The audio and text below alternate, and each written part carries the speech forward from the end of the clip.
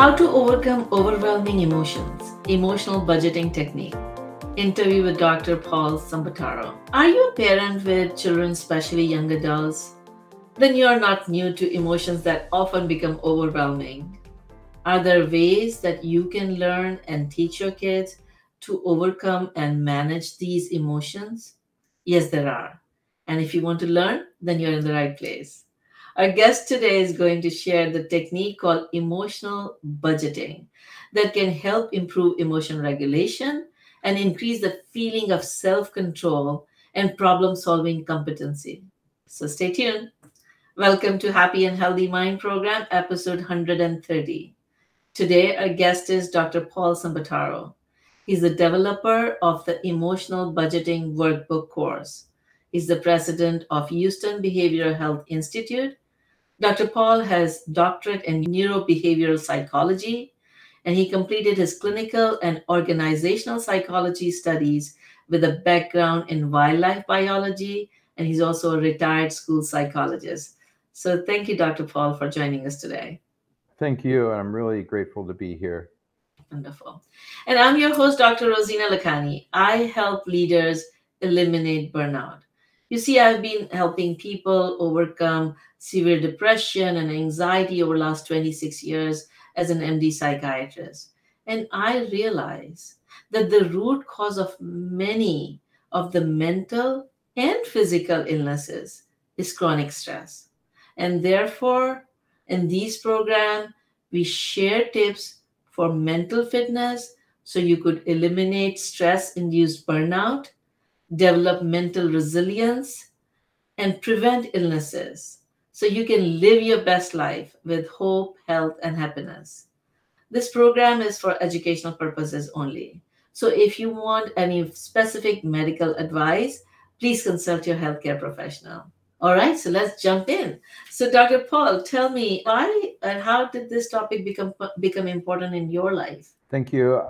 This is really wasn't on my radar growing up, or being a part as a young adult, or even as a becoming a dad uh, with young children at the time. It's pretty amazing how ignorant I really was of this whole mental health. of course, it was a few years ago, you can tell, and there was the internet was just starting, and Google was the browsers were just starting in the 90s. And so before that, there wasn't a whole lot that was shared as a part of the community with my understanding the background, even though I was familiar with counseling and, and so forth. But as technology advanced and as we kind of learned to listen to the articulation of what constituted a behavior that was a problem. So that turned into mental health issues as we understood it. And actually, thankfully, because now we can think about behaviors that are really destructive or harmful as not necessarily being a person's character.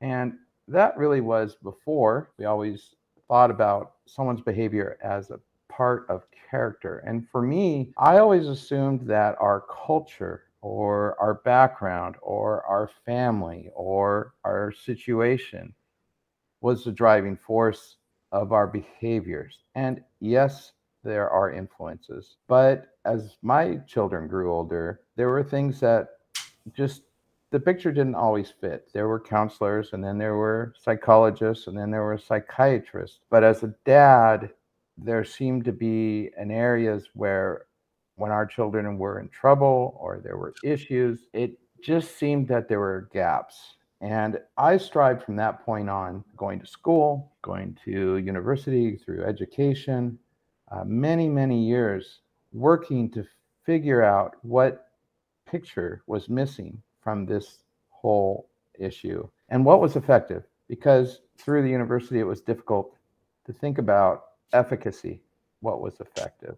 And in doing that, that's how this topic really kind of took light, looking for and working on through a clinic we had in Washington State, through now, through our to find something and to develop something that was actually specifically filling in that gap and something that's I consider missing, but also through understanding the results and how they have improved the efficacy overall of these other areas. So thank you for sharing that. You know, the the why behind the work is so important. And it kind of gives you that passion, that that fire, because you went through that and you kind of felt it. So can you share a story of someone that you helped and how their life was before and after they applied these tools that you're sharing, how their life changed after? Sure. And again, we had a clinic back, we had several clinics, but our last clinic that we left in Washington is in the Kitsap area. And we have a couple examples. And now that it's been a while, I'm not going to, you know, of course, share any names and all of that. So these are just case, these are real case issues that did occur. We had a gentleman that came in about 55 years old. He was looking, he, he, he actually announced that he was looking for a lifetime counselor. And immediately, eh, his issues were not what we would say, you know, something that would run to a hospital or any of those, but they were detrimental to his function. In other words, his life. And he was really upset. He was depressed because he knew there was something going on. He just didn't know. So he was asking for a lifetime counselor to, course, to do this. And at that point, never in my interest to think of ourselves as lifetime counselors. We think of ourselves if we have an issue that we cannot work with or help someone within a period of time, then I think it's incumbent upon us to ask for additional maybe help or expertise, someone else who might better have some understanding of the situation. But in this case, we applied those things around him and he did have it was it's not a simple case because as it turned out he didn't realize, but he had autistic symptoms, the spectrum issues. We don't necessarily have to call those people autistic, but they have the similar symptoms. And that was, he didn't really understand how that was impacting him, his brain development in that area.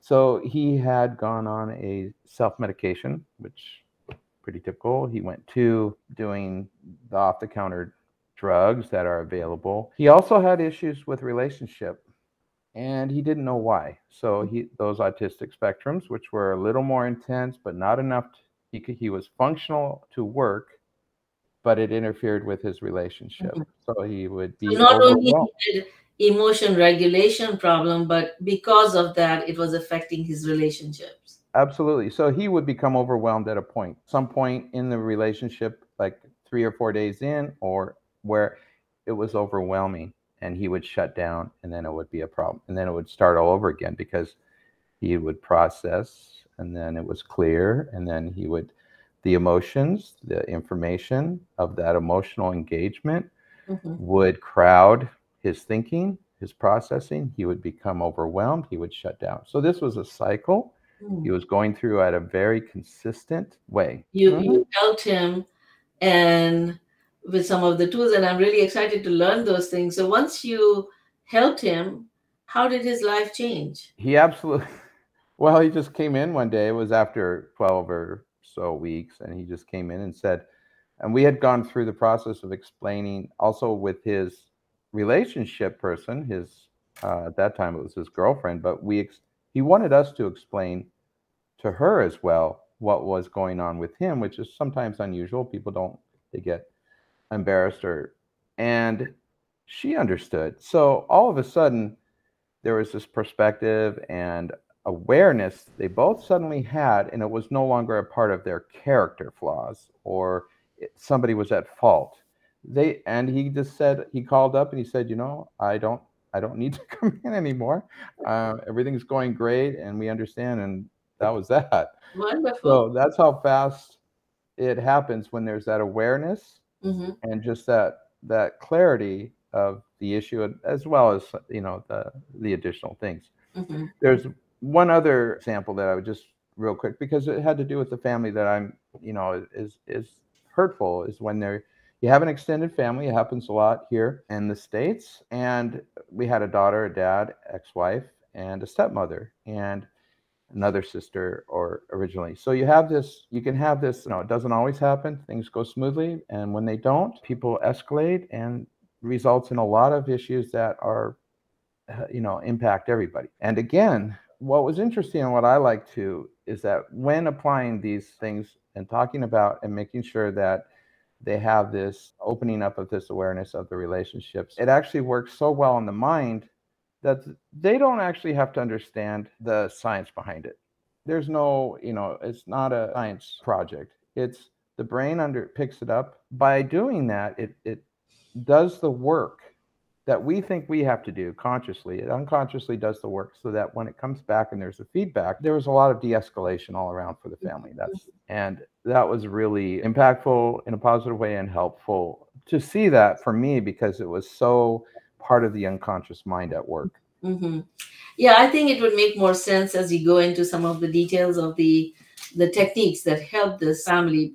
But I guess, like you know, that family came in in distraught, and then they were able to build better relationship afterwards. Absolutely, because as anybody knows, with a daughter or son, if the daughter, we we can with any of us, we escalate because there's a flood of information coming from ten years or and it, it's all the way the memory works is connected so it's not as if we stop mm-hmm. the the flow it flows in and then we process mm-hmm. and differentiate and try to problem solve but when it's all in the brain and depending on the ability of the person it can escalate the physiology of a, an individual faster than they're able to process mm-hmm. mm-hmm. and so that's really nice to see when everything is working and the brain is working uh-huh. the way you expect a liver and a heart to function, you get that excitement because you see the person reacting the way that they want to mm-hmm. rather than mm-hmm. the body is telling it to.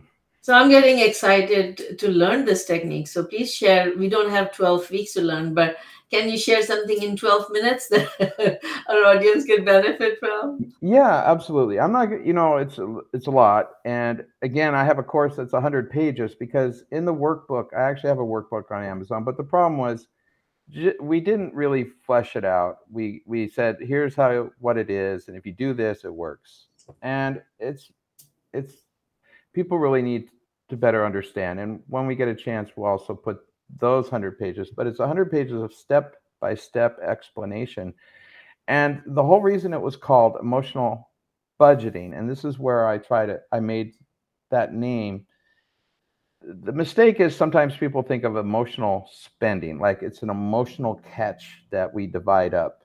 And that's as far from the truth of what I consider emotional budgeting because when we go to personal finance, and personal finance can do a lot of similar same things because it takes the anxiety out when the mind is organized. It's structure.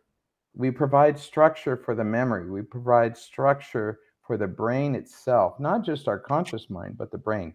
So when we go, so like yes. in financial terms, you kind of spend money or you earn money, but when you're budgeting, you're kind of planning, okay, you may have this much amount of money and you can spend here and here. So so once you have that kind of budgeting your anxiety goes down a little and you have more organization in financial terms. And you are saying the same thing happens with emotions? Exactly.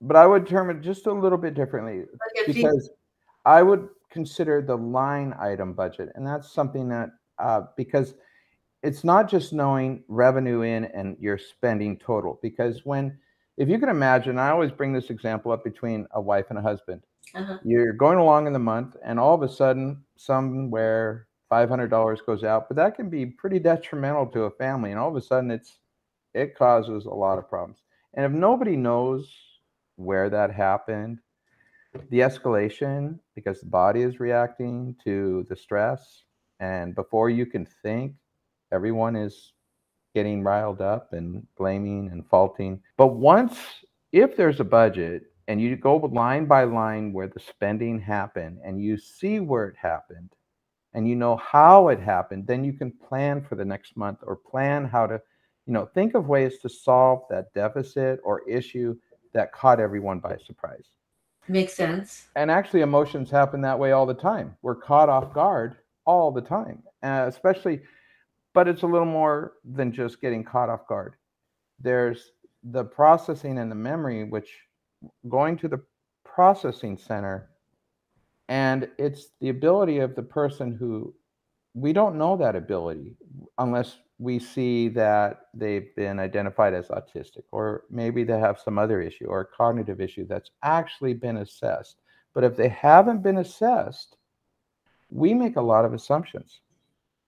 We actually, as parents, make assumptions all the time because we're we don't first we don't have time. We're busy trying to work and then we're saying do this and do that. Make sure you don't mess up here and don't cause trouble there. But if something goes wrong all of a sudden it messes everything up and everyone starts to kind of make assumptions and rely on old 100 year thoughts of patterns of why we are doing our behaviors when in fact if we had assessments, we actually know, and this comes from me being a school psychologist, of course, because they're so important to understand the differences between each person's brain. There's a mm-hmm. lot of difference mm-hmm. in the mm-hmm. abilities that they have. So some have great processing abilities, some have great auditory memory, some have great visual memory, but it's kind of rare to have great everything all at the same package. You might have an even everything, which, but that doesn't mean it's always, and actually, when there's too much difference between one part of the brain and the other, that also causes a lot of problems and angst for the individual who's trying to understand themselves. Mm-hmm. So, so, let's see if like okay let's see my example okay i have a teen you know i have a 15 year old kid and you know they got go, go through different emotional issues as as the stress of uh, school comes or extracurricular or friends or stuff like that. So so tell me in more practical way when i see my kid having some emotional overwhelming emotions what should i say do specifically in that situation so i can help them apply this emotional budgeting technique?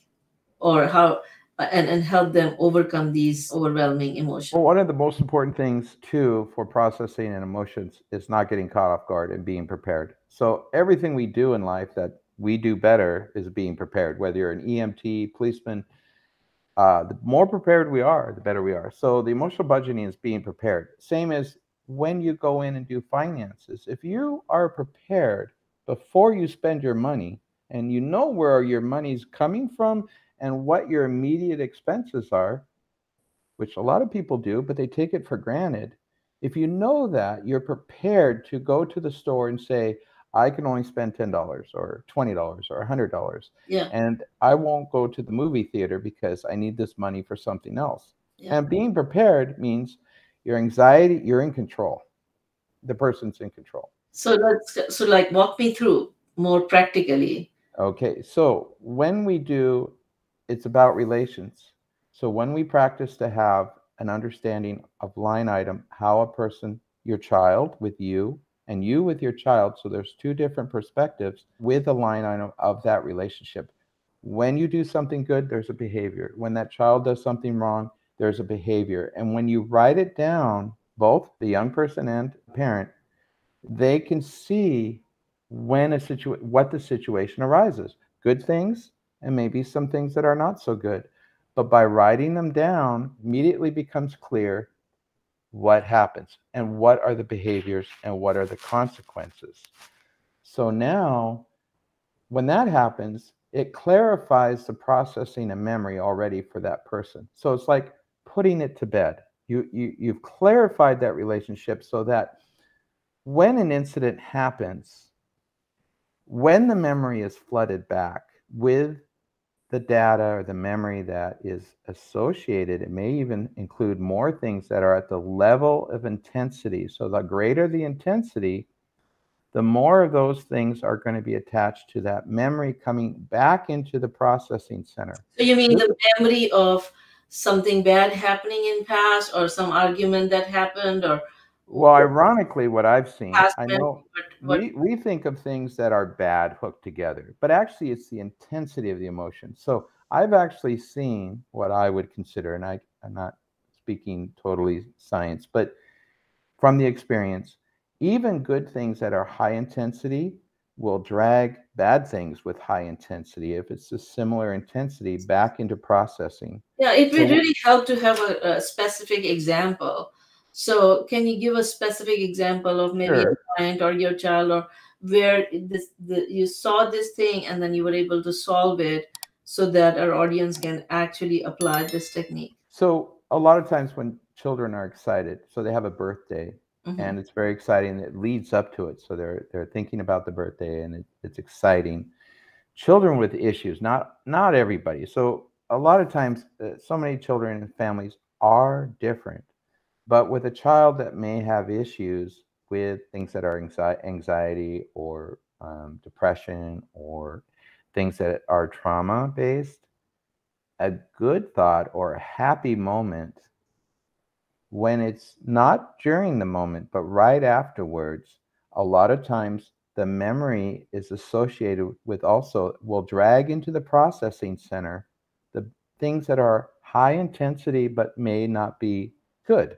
Okay. And if Explain to me what is high intensity? What is this processing? Because a lot of our audience may not understand what is high intensity that you're referring to. So, like a birthday event or Christmas, something that So, so, so you're talking about, let's say, a kid, a 15 year old kid child. Mhm, that that is getting excited about the birthday coming, okay, mhm, or Christmas.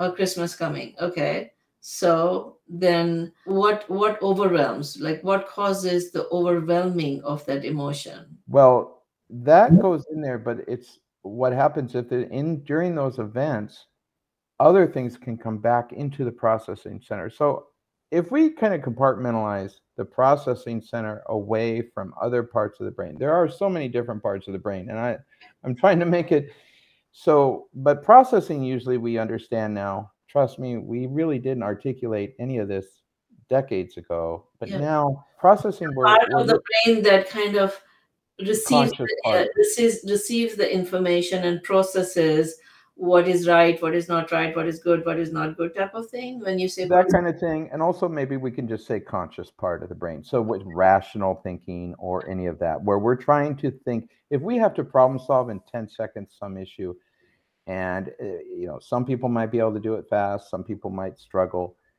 I consider that the processing center that i'm trying to share with the audience.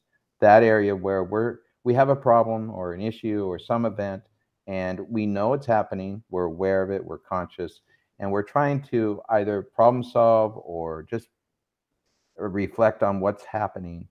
And a Mhm. lot of times the issue what i'm referring to is that we don't always control what comes into the processing center. So that's not the conscious part. The conscious part isn't we don't control a gate that says we only allow this information into the processing center so it makes it easy for us.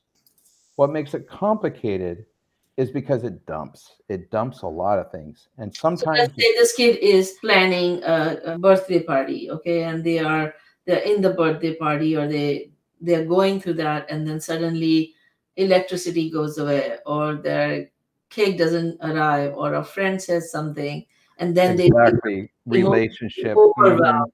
They become exactly overwhelmed. Now Exactly. you know, they start either crying or screaming, or they kind of start losing their control. So, so that is emotional overwhelm. They got emotionally overwhelmed. It may be the simple trigger, like you know, losing the electricity or or their the gift the gift that they were expecting or the cake that they were going to cut it didn't come out right. And then they are start they start either crying or how do people react when they feel overwhelmed? Like what do what have you seen kids behaving? I'm just kind of uh, seeing Well, from th- and that's interesting. That starts a whole nother topic for me but i'm going to try and articulate this as well as i can because the physiology of a person is so important to what happens. Now in the brain it may be the same you have information that's flooded into a processing center that you can't. But having worked with so many kids with disabilities in my background and issues those are usually on the extreme. So with parents who are normal you know you have the crying but what it is is it degrades function.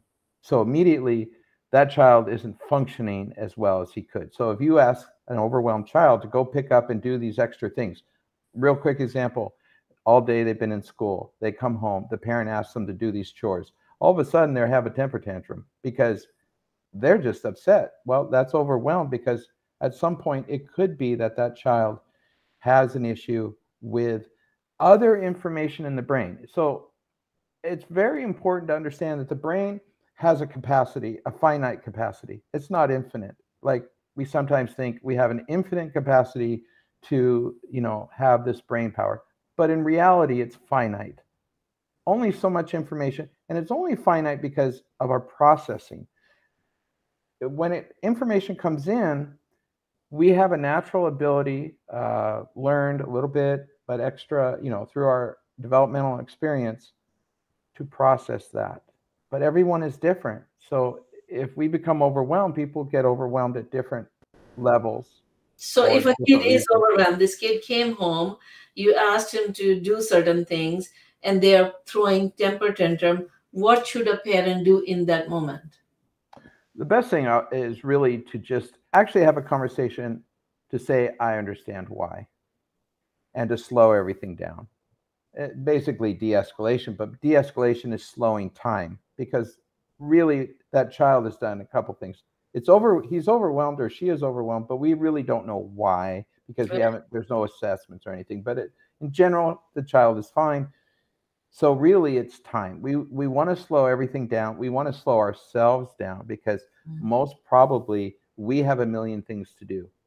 So there's the self-awareness and the awareness of the child. And once we slow everything down, and then we can start to think about there's a reason for everything. That child reacted for a reason, not maybe a good one.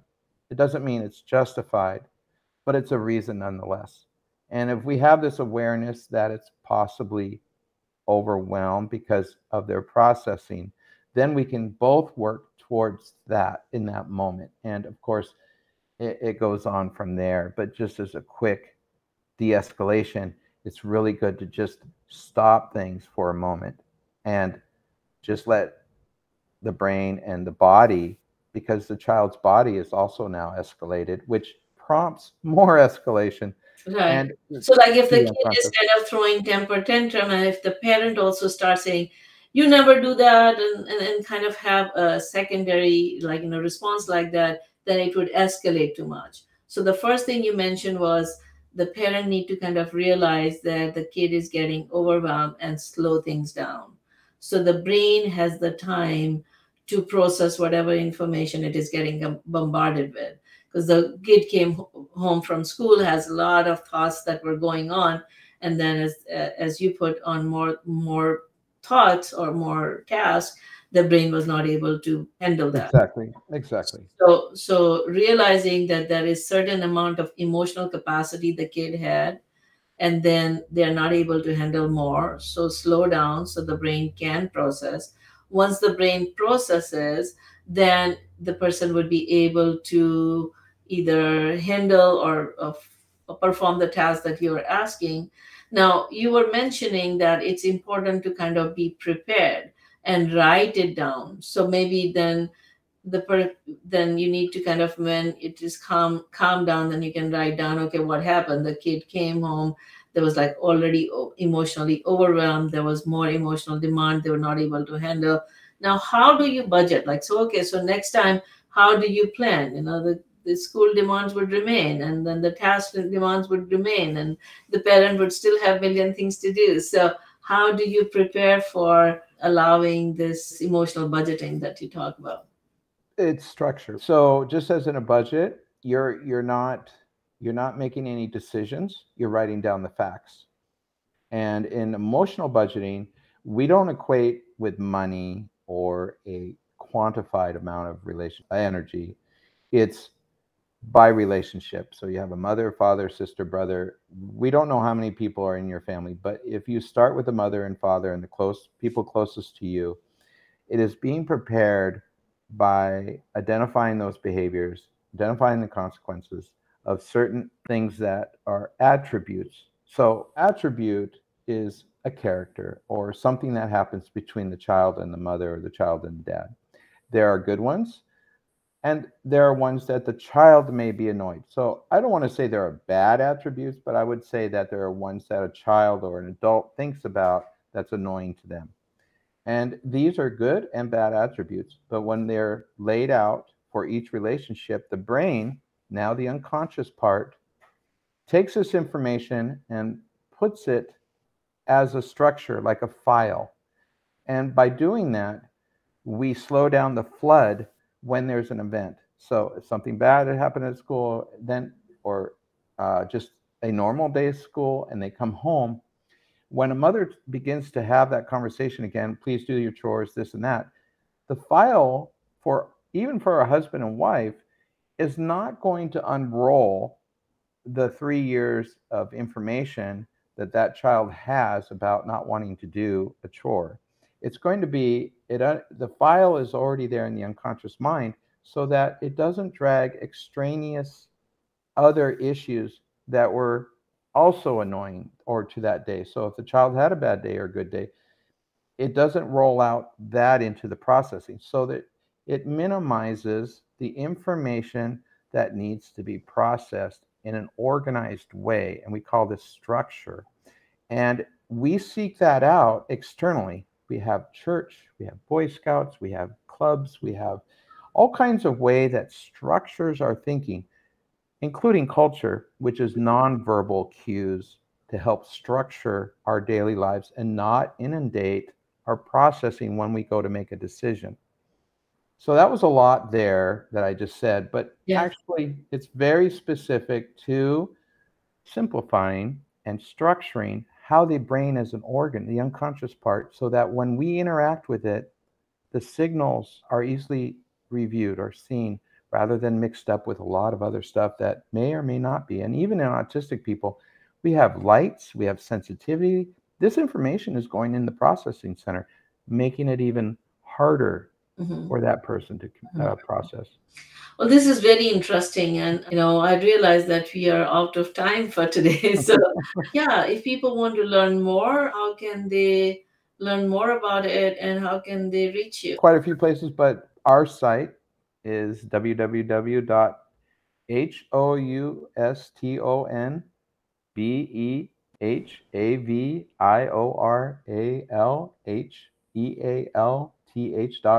org, and that spells houstonbehavioralhealth.org, one word. And that's our website. And on there is a lot of information considering the relationship or emotional budgeting or a lot of other things. But most importantly, for the audience, I really appreciate taking the time to listen today because this is such a vital importance for family interplay, for uh, husband and wife, for children. It's it's something that does help to lower and, and de-escalate and also increase our ability to problem solve. It's so important. So I appreciate everyone's listening in today. Thank you. So thank you so much. Yeah, I think there's a lot for us to learn. And as you said, like you know, the more prepared we are, the better better we would be able to provide this emotional regulation for both ourselves because as parents also struggle and and for our kids. Thank you for the gift that you're going to share with our audience. So can you tell us a little bit about what would they get if they download the gift unlocking the power of personal the power personal relationship strategy? Yes, it's just uh, again we're just speaking to the importance of relationships in our lives and how it's so important and how it's we're able to make sure that we're structured or remembering it in a way that comes back into our processing. When it's left unattended, uh, if you just know the revenue and you know the expenditure, when there's a problem, it creates the body reacts. And the relationships, it's the same way. So the more we look at how important and the relationship strategy, it helps us prepare us and tease out differences or importance in that strategy. So it is just another way of saying, I called it for some a relationship audit, but actually doing the work works with the brain as an organ Wonderful. and not just as a in your as a conscious thought. Wonderful, wonderful.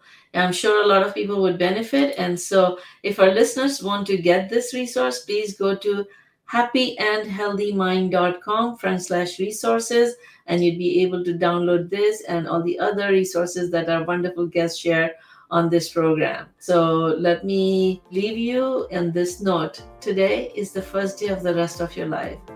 You can either let life flow by and keep getting frustrated when these overwhelming emotions come up, or you may apply some of the tools that you learned today and learn more about it so that you can be better prepared and cope with emotions before they become overwhelming. And enjoy better relationships and live a happier and healthier life. On that note, stay safe, happy, and healthy. Until next time, Dr. Rozina. And thank you, Dr. Paul, for joining us today. Thank you so much.